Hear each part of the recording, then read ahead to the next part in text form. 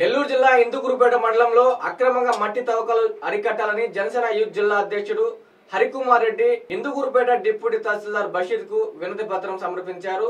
అనుమతులు లేకుండా మట్టి రవాణా చేస్తుంటే మౌనంగా ఉండడాన్ని ఆయన అధికారులను ప్రశ్నించారు.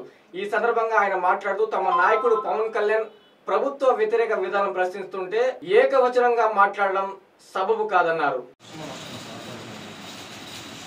మళ్ళీ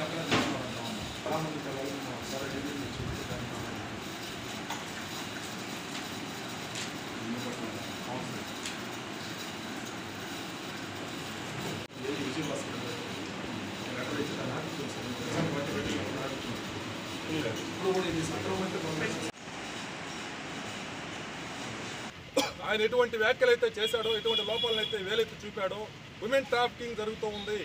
మన ఆంధ్రప్రదేశ్లో రెండు వేల పంతొమ్మిది నుంచి ఈ గత నాలుగున్నర సంవత్సరం లోపల ఎన్నో మిస్సింగ్ కేసులు జరిగినాయి.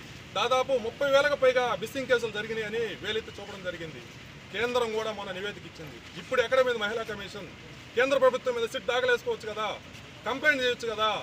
విచారణకు ఆదేశించవచ్చు కదా ఇప్పుడు సెంట్రల్ మీద? అంటే కళ్యాణ్ గారు మిగతా రాజకీయ నాయకులు ఒక వేరైతే మా అధినేత శ్రీ కొనిదల పవన్ కళ్యాణ్ గారు ఒక సమస్యని ఎత్తాడు అంటే అది పక్కా నిజమయ్యే ఉంటుంది. ఎందుకంటే దీనికి మన జరిగినటువంటి కేంద్రం ఇచ్చినటువంటి విమెన్ ట్రాఫికింగ్లో ఎంతమంది మిస్ అయ్యారు అనే నివేదికే మూలాంశంగా తీసుకోవచ్చు.